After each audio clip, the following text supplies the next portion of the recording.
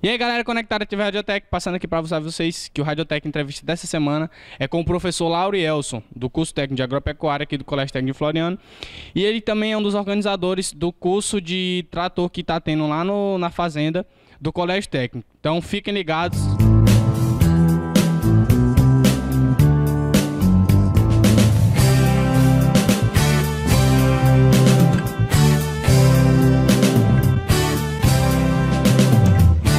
Aqui hoje com o professor Laurielson, né, professor do curso técnico de agropecuária, e ele vai falar um pouco sobre o curso que está tendo de trator lá na Fazenda Experimental do Colégio Técnico de Floriano. Então, professor, é, primeiro eu queria saber qual a importância desse curso.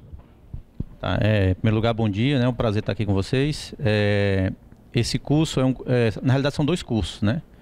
É um curso de operador de trator agrícola, né, que ele tem 24 é, horas, e o outro é manutenção de trator agrícola, 16 horas. Então esse curso partiu de uma demanda do curso técnico agropecuária, onde o nosso funcionário terceirizado utilizava o trator na fazenda, mas não de forma eficiente e também não sabia fazer a manutenção da máquina. Por isso nós fizemos parceria com o Senap Piauí, né, onde fomos, fomos prontamente atendidos para realizar esse curso, né, aqui na, na fazenda experimental do Colégio Técnico Floriano. É, e assim, você disse que o curso, né, é, ofereceu poucas vagas, né? Por que, que não pôde oferecer mais vagas, pegar um, um maior número de pessoas? Pois é, o objetivo primeiro era realmente capacitar esses nossos funcionários da fazenda para utilizar a máquina. Só que o Senado nos informou que a quantidade de vagas só seriam 12 vagas, né? Então, tirando as quatro vagas da fazenda, sobrariam quatro vagas apenas para os nossos alunos. Né? E aí resolvemos escolher os alunos, os, os alunos que estão concluindo o curso de agropecuária, porque os outros alunos que estão ainda iniciando o curso de agropecuária terão oportunidade mais na frente. E aí nós conseguimos ainda mais três vagas. Então está sendo o quê? 11 vagas de alunos. Temos alunos da turma A, turma B e da alternância e temos, a, e temos também quatro vagas que estão sendo utilizadas por nossos funcionários, tanto a funcionário efetivo como terceirizados. É, o senhor disse também né, que é, sobre ex-alunos daqui, né, que foram foram participar de um evento parecido lá em São Paulo, né? Você pode contar um pouco sobre essa história para a gente? Bem, é, na realidade essa área de mecanização agrícola é uma área muito carente de profissionais, né? Nós temos principalmente no estado do Piauí, que não tem essa, essa, essa tradição muito de mecanização agrícola. Né? Tem crescido muito com a vinda da, da, das grandes empresas, né? grandes agropecuárias para a região do Cerrado. E o que acontece? É, em 2013, nós fomos procurados por uma empresa grande, a empresa Progresso, querendo que a gente selecionasse três alunos para que eles iam bancar todo um curso de mecanização de precisão, tecnólogo, três anos em São Paulo. Começaram bancando a ida deles para fazer a prova, pagaram o vestibular, a inscrição, eles foram aprovados, bem colocados. Né? Então foram três alunos, teve uma menina né, e dois, dois, dois rapazes. É, a, a menina não foi, os dois rapazes foram, e eles foram bem colocados. Um ficou, você vê a, a capacidade do nosso aluno. Um ficou em quarto lugar e outro ficou em sétimo. Os dois foram para São Paulo e passaram no vestibular, cursaram o tecnólogo, hoje regressaram a Floriano e estão trabalhando na fazenda, né, do, do, na Fazenda Progresso. E foi isso que o proprietário falou, né? Ele disse, ó, eu não quero que vocês assinem um contrato, que os amigos dele fazem contrato. Eu só quero que vocês reconheçam o que eu fiz por vocês e trabalhem para mim. E ele paga uma remuneração muito boa com relação a isso. Então são máquinas, são plantadeiras de mais de um milhão de reais, toda mecanizada, toda é, é, com GPS, né, toda informatizada. E eles estão lá fazendo esse trabalho. É uma felicidade para a escola, né, para o colégio, ter é, participado dessa parceria com a Fazenda Progresso. É, antes de finalizar, senhor, tem alguma coisa que o senhor gostaria de abordar que eu não abordei? Não, eu acho que é isso mesmo. É, é, uma, é, uma, é, é uma oportunidade que nós estamos dando para nossos alunos. Né? A gente sempre está procurando fazer parceria com alguma entidade, algum órgão, para que nosso aluno tenha, supra uma, alguma deficiência que exista no curso técnico agropecuário. Então, galera, essa foi a nossa entrevista de hoje. Espero que tenham gostado. Deixa o seu like aí, curta, compartilha com a galera. Estamos aqui agora com o Emanuel Henrique. É, a gente teve uma conversinha rápida com o professor Laurielso, né, para falar um pouco sobre o curso que você está ministrando lá na Fazenda Experimental do CTF.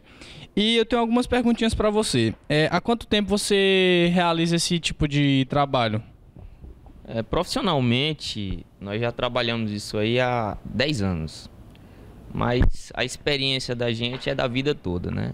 Porque nós somos filhos de agricultores e com base na vivência da gente, a gente aprende também, né? É, ah, você poderia falar um pouco sobre a sua formação, um pouco sobre você também, para a galera conhecer mais sobre você? Muito bem.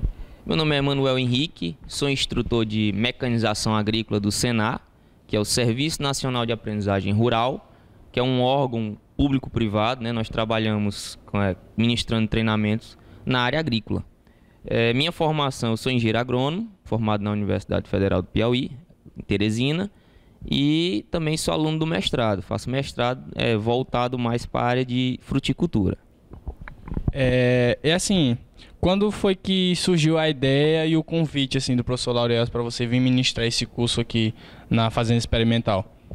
Na realidade, o, o convite ele é aberto para todos que tenham é, necessidade do conhecimento, né? O professor ele entrou em contato com o nosso supervisor e vendo a demanda e a carência de, de profissionais que soubessem e, e que saibam trabalhar com máquinas, ele solicitou ao Senar e a gente vem com a maior alegria e satisfação ensinar o pouco que a gente sabe ao máximo para todos esses alunos.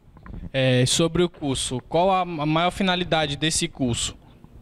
É, além de, de promover que as pessoas saibam realmente lidar com a máquina, ter consciência de como utilizá-la, é, trazer um pouco mais de, de conhecimentos para o, como o meio ambiente também.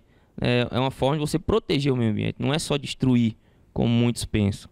Na realidade, quando você faz uma pequena manutenção em um trator, você deixa de poluir, certo? Diminui muito, drasticamente, a poluição. É, além das vagas oferecidas aqui para os alunos do CTF, tem outro público que está participando, mesmo como ouvinte? Ou é só o pessoal que foi, tipo, só as vagas que foram, é, que foram determinadas? É, a gente abre, a gente tem que ser flexível, né? É, ouvinte nós não podemos ter, nós temos que ter pessoas realmente cadastradas. Então, a demanda foi de 12 alunos, mas a gente abriu para mais alguns outros alunos e cadastramos. Então, sim, a gente abriu um pouquinho mais de vaga. E o público é toda e qualquer pessoa que realmente necessite trabalhar com maquinário agrícola, certo?